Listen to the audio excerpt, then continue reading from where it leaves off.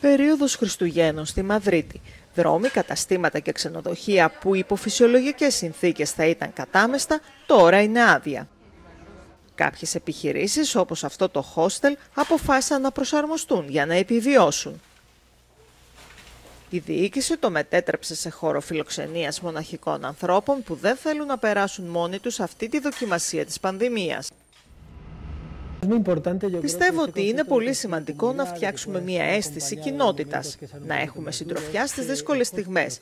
Ένα χόστελ έχει όλα τα πλεονεκτήματα του σπιτιού και επίσης δεν έχει τα δυσάρεστα ενός συμβατικού διαμερίσματος.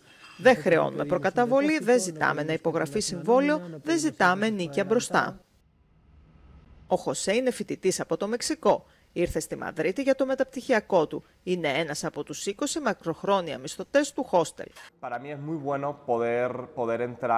Για εμένα είναι σπουδαίο να έχω την ελευθερία να μένω ή να φεύγω οποιαδήποτε στιγμή.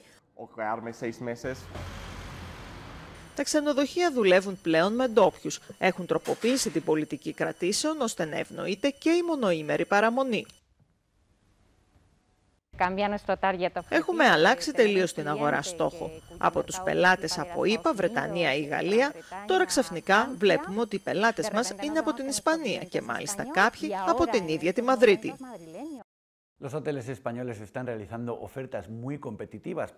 Στην ίδια λογική έχουν μπει και οι κάτοικοι της Ισπανίας, κυρίως αυτοί που ζουν σε δημοφιλείς τουριστικούς προορισμούς. Εκμεταλλεύονται τις χαμηλές τιμές που προσφέρουν τα ξενοδοχεία για να δούνε την πόλη ως τουρίστες. Όπως για παράδειγμα ο Ντέιβιντ Γκόμε, που μεταφέρθηκε σε αυτό το ξενοδοχείο μερικά τετράγωνα μακριά από το σπίτι του. Ένα διάλειμμα σε μια πολύ δύσκολη χρονιά.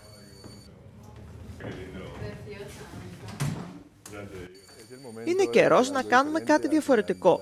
Στο τέλος, με όλους αυτούς τους περιορισμούς, είναι μια καλή ευκαιρία να απολαύσουμε μέρη όπως αυτή η πόλη και να έχουμε μια σύντομη απόδραση. Η Ισπανία έχασε περίπου 80% των ξένων τουριστών αυτή τη χρονιά. Οι ζημιές στην τουριστική βιομηχανία υπολογίζονται σε 140 δισεκατομμύρια ευρώ. Οι επιχειρηματίες ελπίζουν ότι οι ντόπιοι θα σώσουν τα Χριστούγεννα.